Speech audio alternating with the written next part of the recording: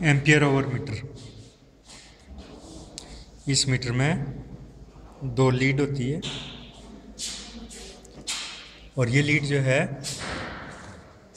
Battery के लाल lead battery के पॉजिटिव से और काली लीड को बैटरी के नेगेटिव से कनेक्ट करते हैं। जब हम लीड को कनेक्ट करते हैं तो ये मीटर जो है बैटरी के वोल्टेज को दर्शाता है।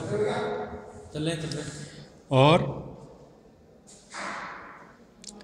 अब हम इस बैटरी पर लोड डालेंगे तीन सेकंड के लिए तो बैटरी की कंडीशन का पता लगेगा। हमें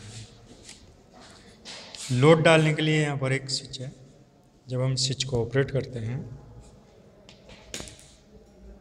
तो ये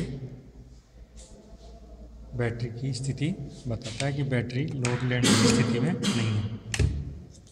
तो ये बैटरी डिस्चार्ज कंडीशन में है। यदि ये बैटरी सही कंडीशन में होती तो तीन बैंड पे रहती।